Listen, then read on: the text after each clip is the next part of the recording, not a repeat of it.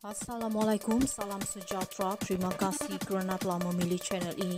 Jangan lupa tekan butang like, komen, subscribe dan share untuk Apakah ada perbezaan perjalanan kes 1 MDB dengan kes SRC? Perjalanan kes SRC dan dari sabitan kesalahan ke atas Datuk Seri Najib hinggalah kepada pengampunan diraja sudah menjadi rahsia umum. Sepanjang perjalanan kes tersebut, timbul pelbagai persoalan di kalangan masyarakat. Dari fakta pertuduhan hinggalah ketergesaan mahkamah mengekalkan sabitan kesalahan terus menjadi tanda tanya kepada kita semua. Namun atas prinsip kedaulatan undang-undang dan keluruhan perlembagaan, kita menghormati keputusan mahkamah. Kini Datuk Seri Najib sedang berhadapan dengan pertuduhan kes 1 MDB. Bukan berniat untuk mempersoalkan kredibiliti mahkamah, tetapi sekadar tertanya-tanya apakah ada perbezaan kes 1 MDB dengan kes SRC. Kes 1 MDB dan SRC melibatkan ramai yang bekerjasama dan bersubahat untuk menjalankan tugas yang diberikan oleh Jolo. Sebagai balasan mereka menerima sebahagian daripada wang kotor. Tetapi hanya Datuk Seri Najib yang didakwa dan dibicarakan. Mereka sama ada hilang dan tiada tempat untuk ditemui atau dibawa masuk sebagai saksi terhadap Najib.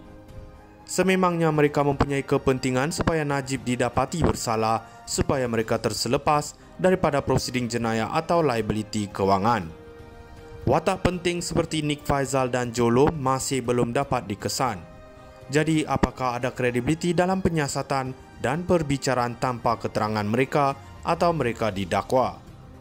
Oleh kerana ia tidak lengkap, keseluruhan cerita sudah tentu boleh dimanipulasi dengan mudah dan kes direka untuk mengaitkan tertuduh.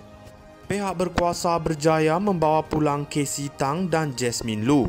Tetapi sangat menghairankan dalam beberapa minggu selepas dia kembali, Casey seorang rakyat Malaysia yang dilahirkan dan dibesarkan tidak dapat menahan panas tropika dan mati akibatnya manakala Jasmine Lu yang sepatutnya didakwa telah dijadikan saksi pendakwaan untuk mendakwa Najib.